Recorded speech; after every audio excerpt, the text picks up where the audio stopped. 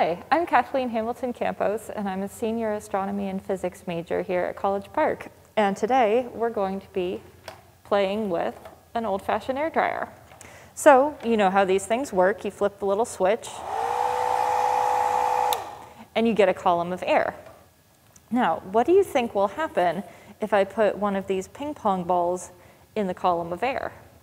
Do you think that it might stay there and levitate? Do you think that, of course not, it's just going to fall? Let's find out.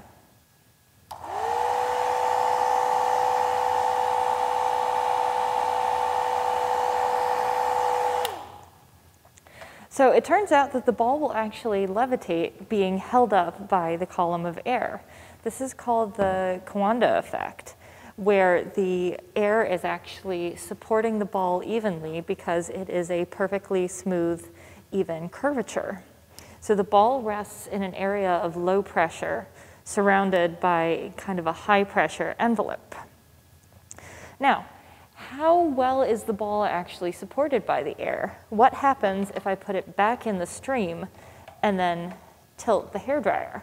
Do you think that it will fall out because it's not totally straight? Or do you think that we might be able to hold on to it even if the air is at an angle? Let's find out.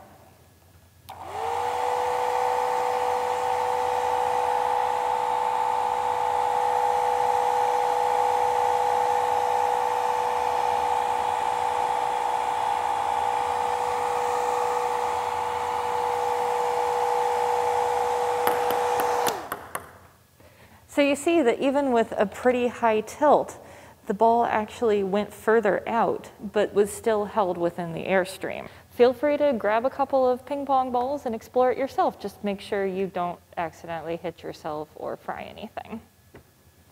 All right, I hope you have a newfound respect for hairdryers.